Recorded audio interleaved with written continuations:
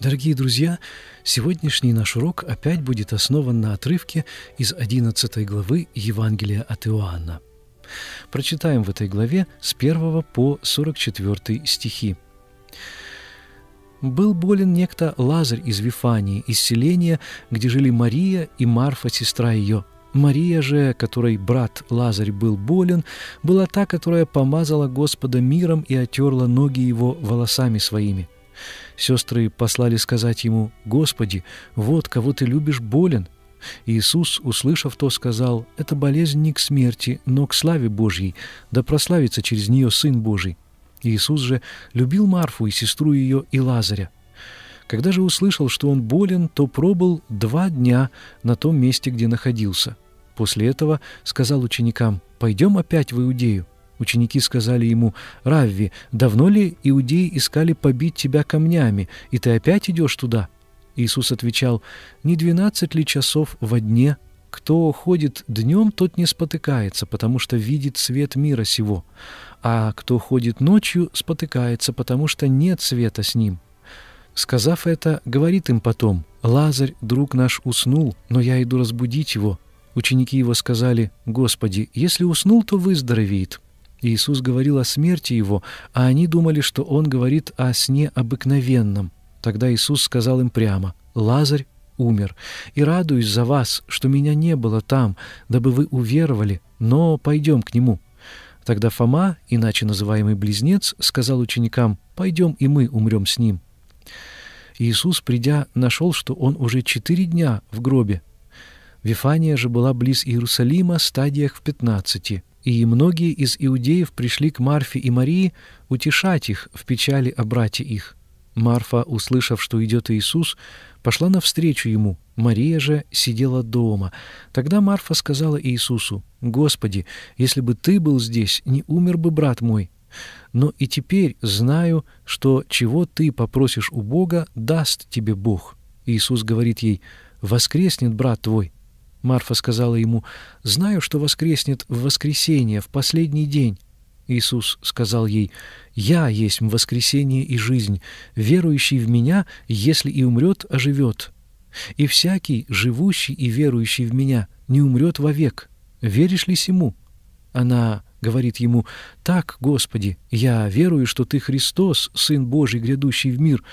Сказав это, пошла и позвала тайно Марию, сестру свою, говоря, «Учитель здесь и зовет тебя». Она, как скоро услышала, поспешно встала и пошла к нему. Иисус еще не входил в селение, но был на том месте, где встретила его Марфа. Иудеи, которые были с нею в доме и утешали ее, видя, что Мария поспешно встала и вышла, пошли за нею, полагая, что она пошла на гроб плакать там. Мария же, придя туда, где был Иисус, и увидев его, пала к ногам его и сказала ему, «Господи, если бы ты был здесь, не умер бы брат мой». Иисус, когда увидел ее плачущую и пришедших с нею иудеев плачущих, сам воскорбел духом и возмутился и сказал, «Где вы положили его?» Говорят ему, «Господи, пойди и посмотри». Иисус прослезился. Тогда иудеи говорили, «Смотри, как он любил его». А некоторые из них сказали, не мог ли сей, отверший очи слепому, сделать, чтобы и этот не умер? Иисус же опять, скорбя внутренно, приходит к гробу. То была пещера, и камень лежал на ней. Иисус говорит, «Отнимите камень». Сестра умершего Марфа говорит ему, «Господи, уже смердит, ибо четыре дня, как он в гробе». Иисус говорит ей, «Не сказал ли я тебе, что, если будешь веровать, увидишь славу Божью?» И так отняли камень от пещеры, где лежал умерший. Иисус же возвел очи к небу и сказал, «Отче, благодарю Тебя, что Ты услышал меня, и я знаю, что Ты всегда услышишь меня, но сказал сие для народа, здесь стоящего, чтобы поверили, что Ты послал меня». Сказал это, он воззвал громким голосом, «Лазарь, иди вон!» И вышел умерший, обвитый по рукам и ногам погребальными пеленами, и лицо его обвязано было платком. И Иисус говорит им, «Развяжите его, пусть идет». Не знаю, как Иеремия делал это. Почти каждый раз, когда ветхозаветный пророк вставал проповедовать, он видел перед собой все меньше людей. Он жил в такое время, когда истина, которую он был призван проповедовать, почти всегда несла в себе плохую весть. Израиль погряз во грехах, и Бог решил отправить народ в Вавилонский плен. Весть Иеремии Израилю состояла в том, что они должны выпить лекарство и без сопротивления принять посылаемое им наказание.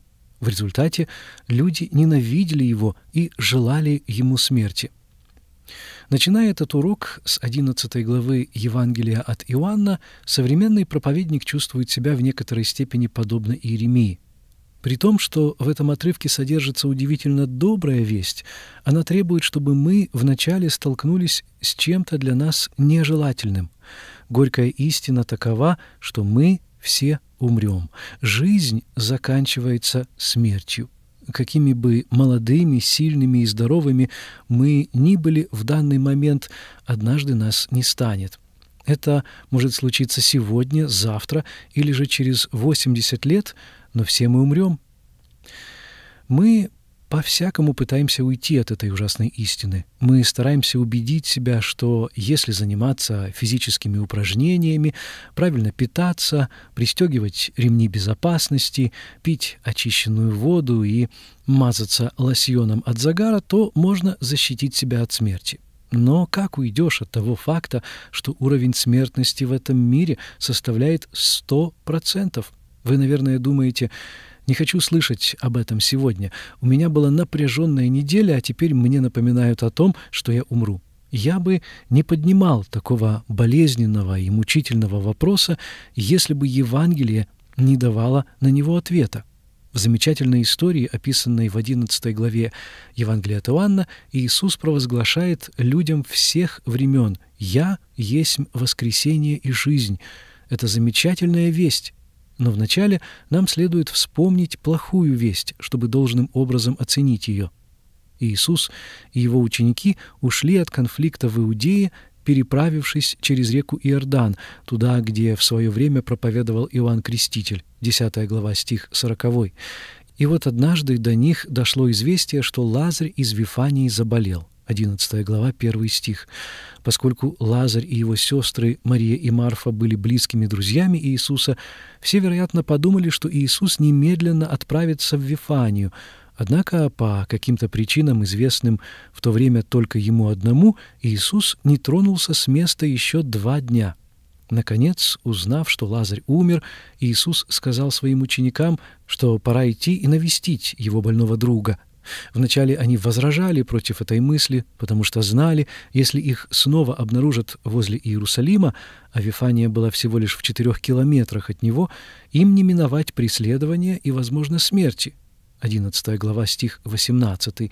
Но когда Иисус сказал им, что Лазарь мертв, они неохотно согласились идти, как сказал Фома, пойти и умереть с ним в 16 стихе.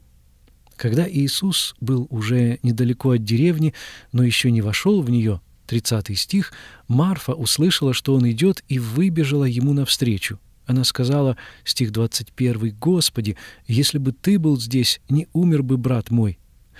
Весь человеческий род может разделить ее чувство беспомощности перед лицом смерти.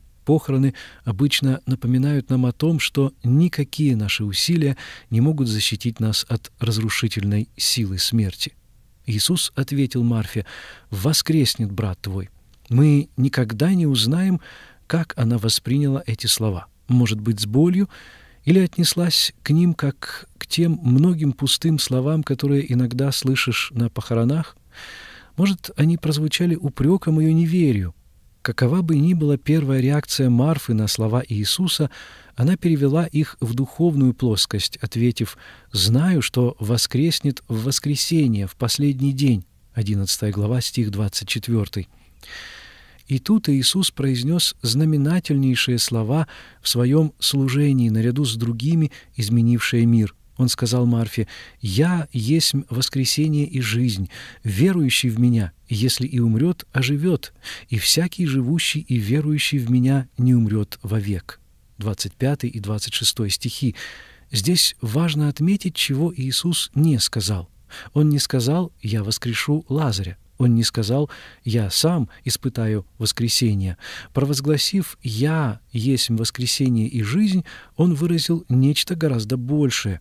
В этом месте Евангелия от Иоанна мы встречаемся еще с одним утверждением «я есть». Иисус делает еще одно заявление о божественности, одновременно определяя свои взаимоотношения с великим врагом, смертью. Провозглашая себя воскресением, Иисус не обещал ни того, что его ученики никогда не предстанут перед физической смертью, ни того, что он сам никогда не встретится со смертью. Зато он утверждал, что благодаря тому, что он умрет и воскреснет, преодолев силу смерти, его ученики уже никогда больше не будут иметь прежних взаимоотношений со смертью. Воскресение для них будет намного больше, чем чудесное одномоментное событие. Оно будет новой реальностью жизни. Следующие слова Марфы отражают огромную веру и глубокое понимание духовных вопросов. Когда Иисус спросил ее, верит ли она ему, она ответила, «Так, Господи, я верую, что Ты Христос, Сын Божий, грядущий в мир». Стих 27. Даже еще до того, как стать свидетельницей удивительного чуда, которое вот-вот должно было произойти, Марфа продемонстрировала ту веру, которую призвано было породить Евангелие от Иоанна. После разговора с Иисусом Марфа вернулась домой, чтобы рассказать своей сестре о приходе Господа. Услышав, что Иисус находится поблизости, Мария поспешила ему навстречу. Увидев Иисуса, она упала к его ногам и повторила горькие слова своей сестры. «Господи, если бы Ты был здесь, не умер бы брат мой». Стих 32. Нам всем знакомы душевная боль, горе, печаль и разочарование, какие в тот момент, должно быть, испытывала Мария. И поэтому все мы готовы идти с Иисусом к могиле Лазаря. Из-за всего, виденного в тот день, Иисус воскорбел духом и возмутился, читаем мы в 33 стихе. Он спросил, где похоронен Лазарь. По пути к могиле Иисус присоединился к плачущим, и было видно, как он прослезился. 35 стих. Стоявшие рядом удивлялись. «Смотри, как он любил его» стих 36. Могилой Лазарю служила пещера, вход в которую был закрыт большим камнем. Когда Иисус велел им отодвинуть камень, Марфа запротестовала, потому что Лазаря похоронили четыре дня тому, и его разлагающееся тело уже должно было издавать зловоние. Иисус сказал ей, чтобы она верила ему, и камень отодвинули, читаем мы с 39 по 41 стихи. Из всех знамений, которые описаны в Евангелии от Иоанна, нет более великого, чем то, что произошло у могилы Лазаря. Трижды в главе 11 Иисус провозглашает, что эти события происходят для того, чтобы люди увидели славу Божью. Это 4, 15 и 40 стихи. На каждом шагу нашего пути мы видели славу Божью в учении и чудесах Иисуса. Но в этот момент в Евангелии от Иоанна, в момент воскресения Лазаря, слава Божья, присутствие Бога во Христе сияет ярче всего – это как если бы мы читали Евангелие при лампе с выключателем, который может регулировать яркость света. Чем дальше мы углубляемся в Евангелие от Иоанна, тем ярче становится свет. Когда мы доходим до главы 11, свет становится почти слепящим. Мы уже видели славу Божью во многих ее проявлениях, но наиболее отчетливо мы видим ее в следующих нескольких стихах. Пораженные люди, стоявшие у могилы Лазаря и смотревшие, как отодвигают камень от входа, увидели, что Иисус обратил свой взор к небесам и стал молиться. 41 и 42 стихи. Закончив молитву, Иисус крикнул «Лазарь, иди вон!» стих 43. Должно быть, последовала мертвая тишина, все взоры устремились ко входу в пещеру. Если ничего не случится, они будут знать, что перед ними безумец, но если Лазарь все же выйдет из пещеры, они поймут, что перед ними тот, кто обладает несравнимо большей силой, чем им когда-либо доводилось видеть. Умерший Лазарь вышел из пещеры, все еще обернутый пеленами, которыми покрыли его тело при погребении. Стих 44. Иисус приказал стоявшим поблизости «развяжите его, пусть идет». Лазарь был жив. Снова было продемонстрировано, что Иисус является тем, кем он себя называл.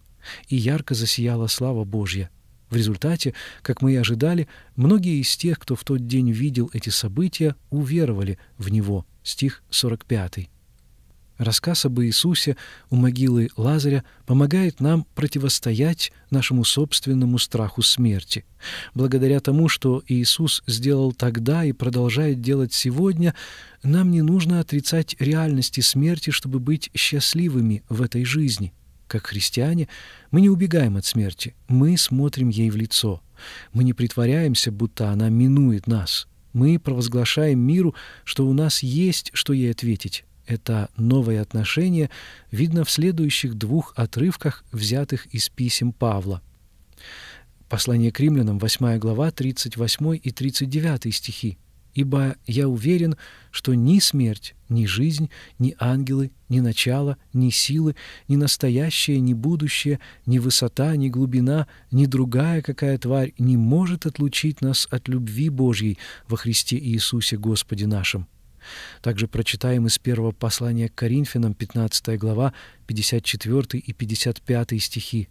«Когда же тленное сие облечется в нетление, и смертное сие облечется в бессмертие, тогда сбудется слово написанное «Поглощена смерть победою». Смерть, где твое жало? Ад, где твоя победа?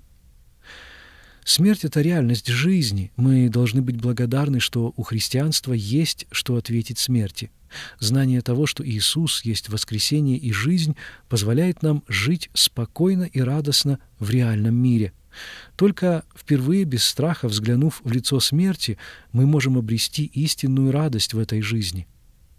Джон Дон, проповедник и поэт XVII века, одно время спал в гробу, чтобы приучить свой разум и душу к величайшим вопросам жизни и смерти. Несколько лет тому назад я испытал нечто подобное, не в состоянии найти время для занятий и молитвы из-за постоянного шума и суеты вокруг моего рабочего места, я рассказал о своей проблеме одному хорошему другу, владельцу местного похоронного бюро. Вскоре он сказал мне, что придумал выход из моего положения — Можете себе представить мое удивление, когда он повел меня на второй этаж похоронного бюро и показал, где он устроил мне маленький кабинет в далеком углу склада гробов. Это был один из самых замечательных подарков, которые я когда-либо получал, и мой кабинет стал единственным местом в городе, где мне ничего не мешало заниматься, думать и молиться. Ведь никто не будет беспокоить человека на складе гробов. С того времени я часто думаю, что следовало бы все проповеди писать в похоронных бюро, в тени самой тяжелой реальности жизни, вынужденный проходить через зал для бальзамирования и комнату полную гробов, я вспоминал, что моя главная миссия состоит не в том, чтобы помогать людям делать жизнь приятнее, а в том, чтобы помогать им находить настоящую жизнь, не в том, чтобы убрать из их сердец всякую печаль, а в том, чтобы показать им путь через горе к воскресению, не в том, чтобы просто помочь им пережить житейские трудности и потрясения, а в том, чтобы подготовить их к встрече с Богом. В книге Амоса, 4 главе 12 стихе мы читаем «Приготовься к сретению Бога твоего». Приходилось ли вам когда-нибудь читать захватывающую книгу или смотреть захватывающий фильм, которые заставили бы вас испытать страх и волнение? А перечитывать ту же книгу или снова смотреть тот же фильм? Каково было ваше впечатление во второй раз? Когда это случается со мной, то второй раз я могу расслабиться и взглянуть на испытания и опасности героя иначе, уверенный в том, что все закончится хорошо. Лазарь, вышедший из пещеры неподалеку от Вифании, показал нам, как закончится наша собственная история. Не спорю, что если второго пришествия Господа в скорости не случится, всем нам придется встретиться со смертью. Однако, поскольку Иисус есть воскресение и жизнь, мы смотрим на смерть иначе. Хотя наши тела когда-нибудь будут лежать в могилах, мы знаем, что однажды мы восстанем из могил Парадокс в том, что только тогда мы на самом деле будем готовы жить, когда поверим, что Иисус есть ответ на проблему смерти –